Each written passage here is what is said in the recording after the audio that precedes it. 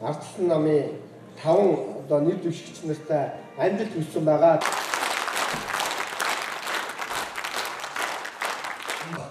Энийг сайн уншиж танилцаарай. Шинжилсэн бүртгэл бол идэвхтэй явагдлаа шүү дээ. Улсын хэмжээнд чинь энэ телевизээр сонсож яхад ер нь сайн явагдсан байлаа шүү дээ.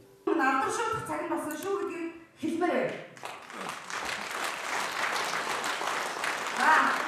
Өнөөдөр нийгэм өмнө ийм байсан, одоо ч юм байгаа, цаашдаа ч ийм байна. Ерөөсөө сонгуулиас хойш сонгуулиас Би алтай энэ аймагт ирсэн. Би өөрөө засагтхааны Дахиад хэлсэн ардсан намын яг тажилтын төлөө ардсан намын хамтын ажиллагаа өнөөдрийн арц намын шинжлэлийн үйл ажиллагаанд ийм идэвхтэй оролцож байгаа та бүхнээр үнэхээр бахархаж байна.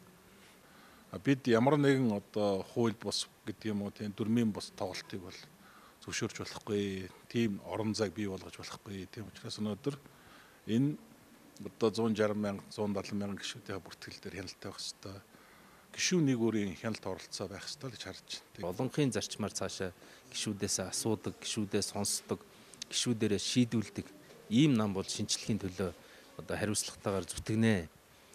Хариуцлагатайгаар зүтгэх тэр даалгавар гэж би нөгөө талдаа хүлээж авч байна. хизээч өөрийнхөө үзэл бодол байр сууриас хурж байгаагүй хүмүүс учраас яг ийм цаг үед би харин ч гэж олноороо бүртгэх байх гэж бодож ирсэн. Миний энэ ихтгэл ерөөсө талаар өнгөрсөнгүй. Арчаас намын 170 80 мянган гишүүн бүртгэлж энэ намынхаа шинжтэл Монгол улсынхаа шинжтэл энд ингэж оролцох гэж байгаад би та бүхэндээ их талархлаа илэрхийлье. Ардчилсан намын шинжилэлд бол манай гишүүн болгон арчлыг дэмжигчд болгон санаа зовж байгааг нэг уу гэж харж байгаа. Үнэхээр сэтгэл хангалуун байна. 170 70 гаруй хүн бүтгүүлээ саналаа өгнө гэдэг бол чихэр баргийн одоо бараг л одоо төрийн сонгуул шин хэмжээнд очиж шүү дээ тийм ээ. Энийн цаана хичнээн бас дэмжигч нар байгаа үлээ санал өгч юмчихгүй байгаа. Аа би энэ гişүүдтэй нэг л зүйлийг хэлнэ. Та нар энэ намын шинжиллийн хувь заяаг шийдэх гэж байгаа ийм шүү гэж. Өчигдрийн мэдээгээр намын шинчилсэн бүртгэлд 160 мянга гаруй иргэд маань гişүүд маань бүртгүүлсэн байна.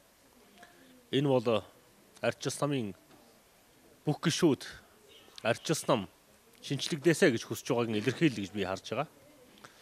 Ганцхан намын шинчлэл биш, Монголын шинчлэлийг төрийн шинчлэлийг хүсэж байна гэж бид харж байна. Тийм учраас арчилс намын шинчлийн процессыг эрчимжүүлэх ёстой, үр дүнтэй болох ёстой, бодиттой болох ёстой. Бид хэлбэрийн шинжлэл биш агуулгын шинжлэл хийх ёстой. Энэ чиглэл рүү явах ёстой.